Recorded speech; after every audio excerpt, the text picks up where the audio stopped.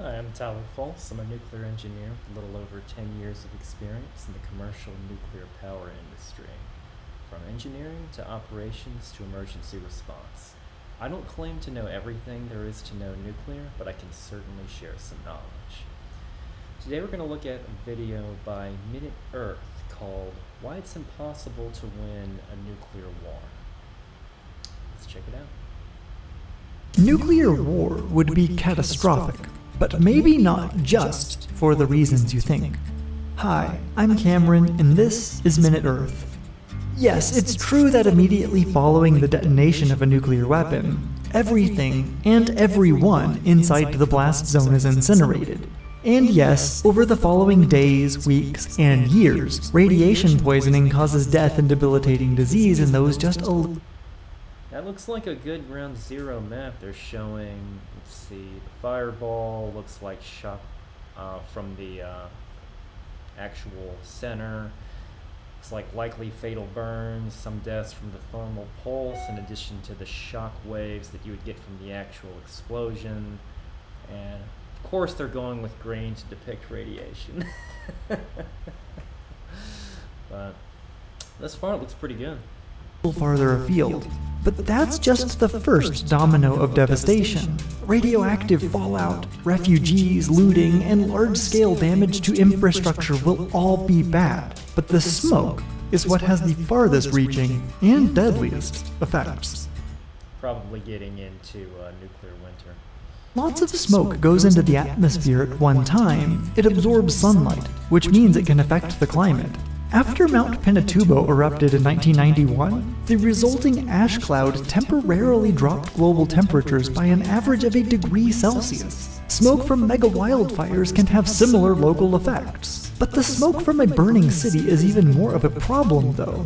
As cities, with all of their buildings, plastics, asphalt, etc., as all of this stuff burns, it creates smoke with tons of free floating groups of carbon atoms known as black carbon, which is the spec. That's a good point that I actually haven't heard of, but it makes sense. All the uh, material that you'd get from the infrastructure would cause even more emissions than, say, forest fires or volcanic activity that I mentioned earlier sauce of our nuclear doom, these dark particles soak up sunlight and warm the surrounding air, making it buoyant and lofting the smoke into the stratosphere. Smoke from wildfires and volcanoes can also make it high in the air, but these sources don't produce as much black carbon.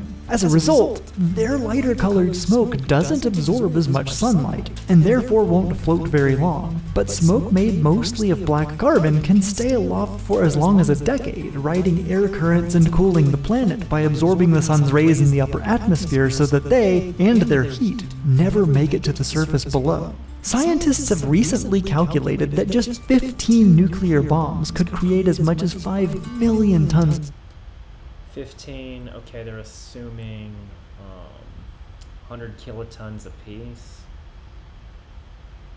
Yeah, that's uh, so to get a sense of scale, um, 15, 20 kilotons were the weapons that were used on um, Hiroshima and Nagasaki during World War II. These are still relatively small weapons compared to what could be used. Um, the uh, Bravo 83 um, nuclear bomb could go up to 3 megatons or um, 3,000 kilotons by itself. Just keep that in mind. Black carbon. That's enough to cool the planet by an average of 2 degrees Celsius. But wait a minute, we have detonated more than 2,000 nuclear bombs. Why haven't we experienced this cooling already? Well, that's because the vast majority of nuclear detonations have happened either high in the atmosphere, in remote places, or deep underground. That's all in order to minimize the potential for damage, including the damage that would be caused by megatons of black carbons. They also wouldn't detonate them in cities to test them. Two nuclear bombs have been used to their full and devastating potential, but somewhat frighteningly, those were small bombs compared to what we have now. Today, not only are nuclear weapons way bigger, we also have way more of them than we did then, albeit not nearly as much as. 13,000 by 8 countries, okay. during the Cold War. Still, a war between nuclear powerhouses could create as much as 150 million tons of black carbon, enough to drop global temperatures by an average of 16 degrees. For reference, during the most recent ice age, you know, when glaciers covered half the Earth, global temperatures were just 7 degrees colder than they are now. And if a nuclear triggered mini ice age were to occur, it would freeze food production in most of the world, Many of those who managed to survive the bombs and radiation and freezing conditions would suffer from inevitable global food shortages. As many as 5 billion people worldwide might starve in the first year.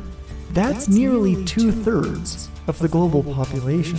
And at northern latitudes, it gets even worse. Up to 99% of people there may starve to death. So a war that heats up to the point of going nuclear could leave everyone in the cold. This video was brought to you by the... That's interesting that they went that direction. Yeah, that would be the um, the most devastating effect by uh, by far. Um, note that this would be similar to an impact event, such as a large asteroid is the real danger. Other um, very large um, volcanic eruptions could cause this sort of thing. Um, I didn't actually know that about the black carbon, the using um, destroyed cities creating all of that extra smoke that is more dense than, like, say, the detonating uh, nuclear weapons underwater, out in the desert, or airburst. Um, but those were some pretty good points um, about that. I don't, I don't know the math off the top of my head as far as how much more, more severe it would be with city detonations. It would be interesting if cities were destroyed that way with conventional weapons. How much basically how much of it is the fact that there were high yield nuclear weapons or how much is just from destroying cities. Because uh, nuclear war isn't the only way to get to this uh, frightening scenario of uh, nuclear winter. Um, there's also impact winter and uh, volcanic activity like you mentioned earlier in the video. But that's a good point. It didn't bring into the uh, effect of the immediate effects of, um, say, the U.S. and Russia wiping each other out, or a lot of those typical um, misconceptions about the uh, the radiation being the worst part of the uh, of the nuclear war. So I thought it was pretty good. If you like this video, please hit me a like down below and uh, go and hit the subscribe button if you want to see more videos like this. If you didn't like this video, um, please let me know down in the comments. I'm always looking to get better. Thank you very much for watching. I'll see you next time.